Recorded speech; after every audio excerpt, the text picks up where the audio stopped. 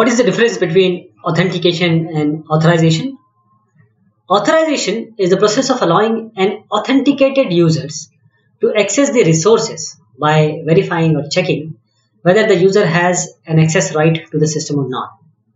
Authorization helps us to control the access rights by granting or denying uh, specific permission to an authenticated user. So authentication deals with the user account validation. Means is this a valid user? Is this user registered in our application? For example, login credentials. Authorization deals with user access validation to certain feature. And does this user have authorization right to access this feature? For example, some claims or roles can be given. Authentication is the process of verifying the identity of the user by obtaining some sort of credentials and using those credentials to verify the user's identity. So if credentials are valid, the authorization process starts. Authentication process always proceed to the authorization process. And authorization is the process of allowing this authenticated user to access the resource by checking the access right. And uh, you can grant or deny specific permission to the authenticated user if authorization uh, is not proper. Authentication and authorization. Authentication is the process of verifying the identity of a user while the authorization is the process of checking whether the user has the access right to the systems or not or to some certain resources of the system. Authentication, it always proceeds to authorization while authorization, it is the process of allowing an authenticated user to access certain resources. It has a separate, means authentication has uh, two separate levels because all the requests coming through, say, some IIS before it is handled. And uh, in authorization, it allows two ways to authorize access to a given resource. In authentication, they have two additional schemes like Windows authentication, form authentication, passport authentication.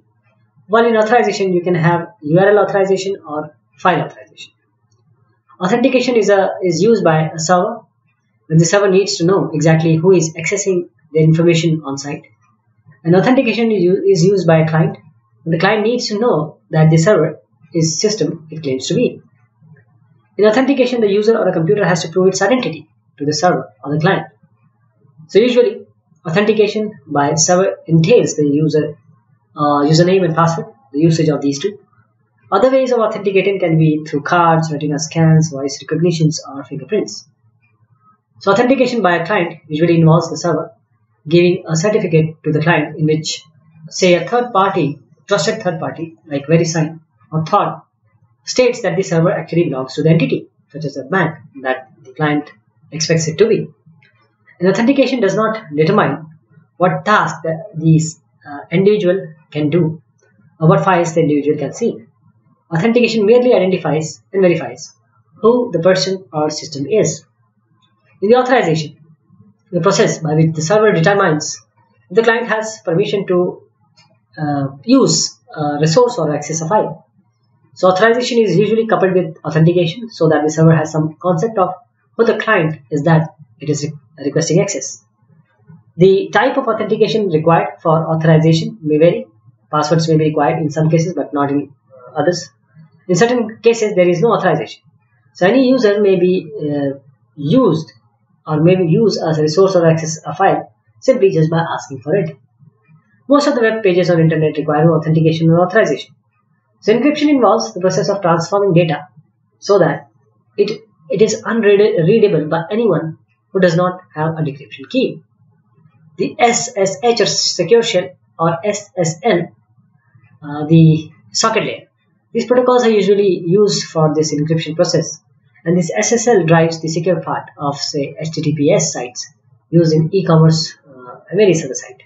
So all data in this SSL transaction is encrypted between the client and the server before the data is transferred between the two. And all data in this secure shell session is encrypted between the client and the server when the communication uh, or they are communicating at this shell. And by encrypting the data exchange between the client and the server, information like social security number, the credit card numbers, and home addresses can be sent over the internet with little risk of being intercepted during the transit. So this was about the authorization and authentication. Thank you so much.